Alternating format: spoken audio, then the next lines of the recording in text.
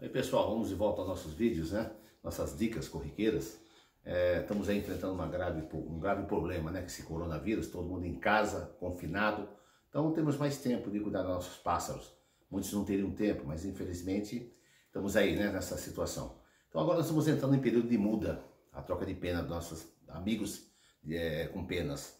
Então é um período realmente que a ave fica bem vulnerável a doenças após o próprio da muda. Então, eu sempre falei em vídeos sobre isso aí. A ave na muda, ela tem que ser confinada. Veja bem, vamos falar confinado ou colocado em gaiola pequena. Quanto menor a gaiola, mais rápido ele muda. Existem vários tipos de medicações que aceleram a derrubada de pena, tá? Em alguns, em alguns laboratórios muito bons, baseado em quilato de ferro, tá? tá? A ave não pode tomar sulfato ferroso, como eu sempre venho batendo. Tá? Olha bem a formulação da, de cada medicação. Sulfato ferroso é veneno para ave. Isso vocês podem perguntar para qualquer veterinário conceituado que eles vão te explicar sobre isso. Alimentação é fundável. Outra coisa, não é recomendável você é, deixar a tua, a tua ave mudar encapada. Por quê? Tá? Vou explicar o porquê. Porque quando está encapado, a ave tem a tendência de, de somente o trinca-ferro, sabiá, de defecar demais. E forma um gás uma amônia. Isso é fatal, pode matar o teu pássaro, como já aconteceu comigo. O pássaro é, dormindo em, é, mudando de pena, por uns dois, três dias eu deixei, porque eu tratei e tal, né? E bastante pena, e as fezes formam uma amônia, um gás. Isso mata a ave, tá? Pode morrer com esse gás. Muitas vezes, se teve casos de vocês, às vezes, perderem aves, é, mudando de pena com essa situação. O, o gás que é formado nas fezes mata, tá bom? Isso é uma dica, não se muda encapado. Local, sem vento, quanto mais, porque a ave que muda na natureza, ela leva pelo menos seis a sete meses, às vezes até, até mais, mudando. Começa em janeiro, vai terminar em junho julho, porque ela cai uma pena por semana. Não é igual na gaiola, que ela está parada sem poder voar, não voa, então cai rápido. E muda rápido. A ave na, na, no ambiente doméstico, ela muda rápido, certo? Ela não tem a necessidade de segurar as penas. Se ela fizer isso na natureza, como muda na gaiola, ela morre. Predador pega, não consegue voar, se alimentar, tá ok? Então por isso que é bom pôr em gaiola pequena, deixar bastante pena, tá?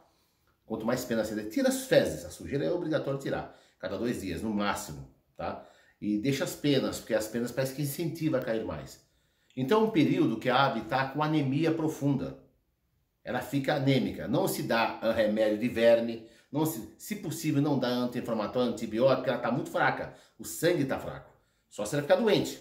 Ela para, a muda e vai entrar doente, aí você vai ter, entrar com um tratamento. Mas caso esteja sadia, então o que você tem que dar? Uma alimentação baseada em cálcio, tá? Com vitamina D3, ou alimentação baseada nisso, muita comida boa, porque ela precisa de mais alimento.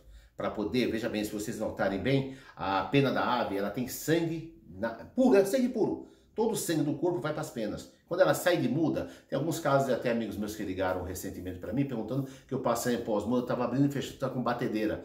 Não é isso não. É que a ave mudou muito forte, foi uma muda muito pesada, e a anemia pegou, e após muda, que ela, que ela acaba de enxugar a pena, ela começa aquela canseirinha é, típica. O que, que é isso aí? Uma anemia. Ela está se recuperando da, da febre, que é muito forte, e da falta de sangue. Então, por isso que eu falo, Trate a sua ave na troca de pena melhor que você trata quando ela está com saúde sem trocar pena.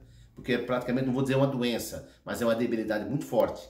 Quem é, todo mundo já deve ter reparado sobre isso, no caso. Então, a higiene é essencial, mas eu falo sempre, deixa as penas, tá? Para mudar mais rápido, incentiva. No, existe um, acho que é uma, é, vamos dizer assim, uma ficção. Ela olha a pena ali, parece que é, a incentiva cair mais, então muda mais rápido, tá ok?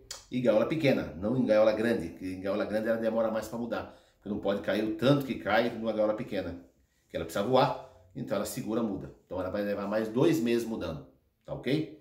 Então essa é a dica que eu dou no caso com esse período que nós estamos agora. E tratar bem, né? Água limpa, isso não precisa nem falar mais nada, porque já falei, sempre bate nessa, nessa tese. Tá ok? Esse é um período realmente que nós vamos entrar agora de muda, então eles precisam ser tratados, já repito novamente, com muito cuidado, com alimentação saudável, com bastante, bastante é, alimento baseado em ferro, ou se você puder comprar um bom produto que tem vários laboratórios, como eu falo novamente, é ótimo. Esse é um período que é essa dica que eu dou para vocês.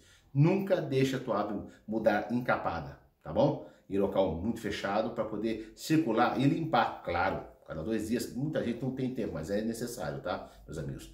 Temos agora um tempo todo ficar em casa, né? Confinados. Então aproveitei para gravar esses vídeos para você. Valeu? É uma diquinha, tá ok?